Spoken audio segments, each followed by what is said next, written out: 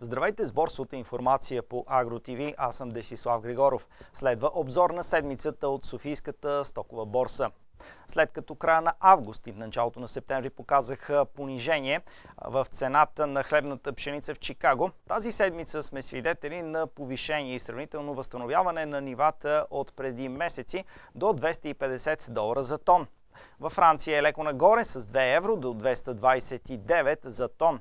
В Украина минус 8 долара до 232 щатски долара за тон, докато в Русия цената остава без промяна на 250 щатски долара за 1 тон. Движението при царевицата е незначително. В Съединените щати има повишение с 2 долара до 234 щатски долара за тон. Цената във Франция се понижава с 4 евро до 211 за тон. Русия за пореден път остана без промяна на 228 щатски долара за 1 тон. Междувременно, котировките на нерафинираното слънчогледово олио на борсата в Роттердам, след като през лятото се повишаваха стабилно, а после обърнаха тренда и тези дни отново са надолу с минус нови 60 долара до 870 щатски долара за 1 тон.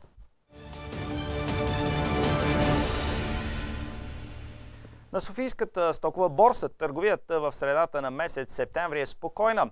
В подкръг зърно котировките продава за хлебната пшеница за тази седмица са от 470 до 532 долара за тон. Купувачите отговарят с 300 лева за тон. Фуражната пшеница се котира за 450 долара за тон, като покупки нямаше. В началото на септември имаше сделки на цена от 370 лева за тон. Царевицата се предлага от 450 до 480 лева за 1 тон, а маслоданият слънчоглед върви от 750 до 810 лева за тон, като всички цени, казани до тук, са без ДДС. В подкръг хранителни стоки цените за основните стоки са стабилни. Продължава предлагането на бяло брашно на начални цени от 890 лева за 1 тон и за бяла рафинирана захар на 1940 лева за тон.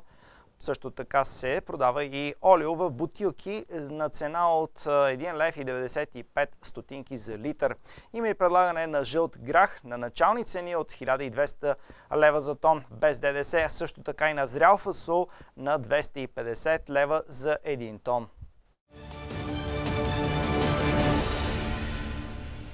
В подкръг индустриални стоки на Софийската стокова борса тази седмица премине традиционно под знака на енергоносителите и химическите продукти.